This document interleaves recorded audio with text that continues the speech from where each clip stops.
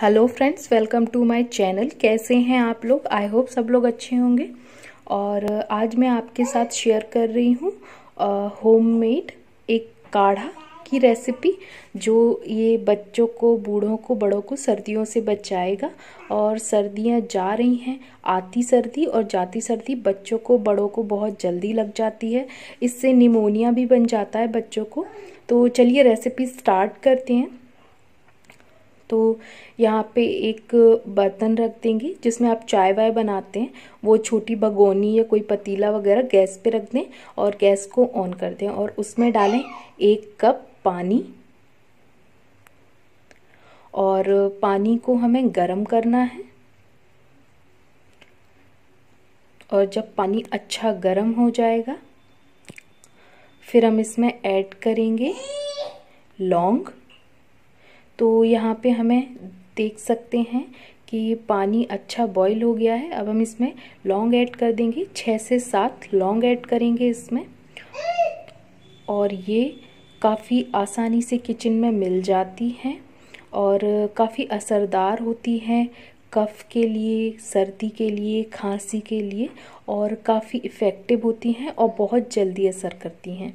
तो इसको हमने पानी में डाल दिया है और इसको लौंग को पानी में डालने के बाद हम अच्छे से उबाल लेंगे और हमें इसको इतना उबालना है कि एक कप पानी लिया था तो उसकी क्वांटिटी हाफ़ रह जाए यानी कि आधा कप रह जाए। इतना हमें इसको बॉईल करना है। तो आप देख सकते हैं यहाँ पे आ, पानी बॉईल होना स्टार्ट हो गया है और ये पानी का आप देख सकते हैं हल्का सा कलर भी चेंज हो रहा है क्योंकि जो लौंग जब हम पानी में डालते हैं तो वो हल्का सा कलर चेंज होता है।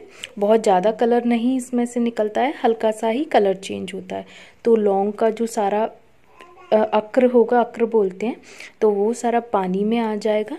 तो यहाँ पे अच्छे से पानी उबाल लेंगे ताकि पानी हमारा आधी क्वांटिटी में रह जाए। और ये वाली जो काढ़ा है, ये आप एक ही एक या दो उससे जो हम इसमें दो ही चीज़ें यूज़ करने वाले हैं एक तो लौंग और दूसरा मैं आगे आपको बताऊँगी इसमें और क्या यूज़ करना है और जो घर पे आसानी से ही मिल जाएँगे। तो यहाँ पे मैंने गैस बंद कर दी है और अब इसको हम छान लेंगे एक कप में। और इसमें स्टील का बर्तन ही लेना है, कांच का बर्तन या कप वगैरह आप चीनी मिट्टी का ले सकते हैं। तो इसको यहाँ पे मैं छान के ले रही हूँ। जो बड़ी बड़ी लौंग है, उसको निकाल दिया है। और थोड़ा बहुत जो आप देख रहे हैं, ऊपर ये रह गई है तो इसको भी मैं चम्मच से साइड में निकाल दूँगी। और इसको थोड़ा सा ठंडा होने देंगे क्योंकि अभी बहुत ज़्यादा गर्म है, और फिर इसमें मिलाएँगे हम एक चम्मच शहद। तो यहाँ पे मैं एक चम्मच भर के शहद डाल रही हूँ और शहद को अच्छे से मिक्स कर लेंगे इसमें।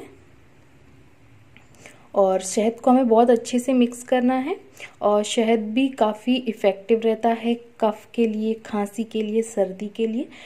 इस, ये जो काढ़ा है, इससे आपको बहुत जल्दी आराम मिलेगा और जो स्टूडेंट होते हैं, उनको भी ये आराम से बना सकते हैं, क्योंकि इसमें बहुत ज़्यादा चीज़ों का यूज़ नहीं किया गया है। तो यहाँ पे हमारा काढ़ा बन के हो गया है तैयार। तो हमने, आप देख सकते हैं, एक कप पानी लिया था तो आधा कप रह गया है यहाँ पे। तो ये हमें किस तरीके से लेना है? तो जो बड़े लोग हैं, वो इस काढ़े को दिन में तीन बार लें सुबह, दोपहर और रात को सोते टाइम। तो बहुत जल्दी आराम मिलेगा। खांसी में, कफ में और बहुत जब आप इसको, और जब आप इसको पिए तो गुनगुना ही पिए तो काफ़ी आराम मिलेगा। और जब आप बच्चों को दें तो बच्चों को आप दो दो चम्मच दें दिन में तीन से चार बार तो उससे उनको बहुत अच्छे से आराम मिलेगा और बच्चे आराम से पी लेंगे इसको क्योंकि ये थोड़ा मीठा रहेगा। और अगर आपके पास टाइम नहीं है, आप कॉलेज जाते हैं या ऑफ़िस जाते हैं तो आप ये जो लौंग है उसको मुँह में दबा सकते हैं और थोड़ा सा क्रश करके और उसको धीरे धीरे चूसते रहिए, उससे भी काफ़ी खांसी में आराम मिलेगा। अगर